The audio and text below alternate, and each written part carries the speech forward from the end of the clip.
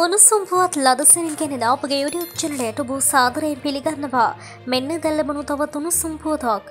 අද දිනේදී බස්නාහිර සබරකමුව සහ වයඹ පළත්වලත් අනුරෝධපුරය මහනුවර නුවරෙලිය සහ ගාල්ල මාතර දිස්ත්‍රික්කවලත් ස්ථාන ස්වල්පයක සවස් කාලයේදී හෝ රාත්‍රී කාලයේදී වැසිහෝ කිගුරුම් සහිත වැසී තිවිය හැකි බව කල්ගුණ විද්‍යා දෙපාර්තමේන්තුව පවසනවා.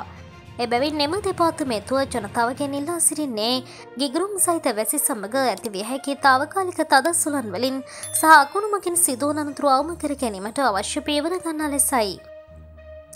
මෙවැනි උණුසුම්පුවත් ලදසනින් දැන ගැනීමට අපගේ YouTube චනලය සබස්ක්‍රයිබ් කර බෙල්ලයිකනේ ක්‍රියාත්මක කරන්න.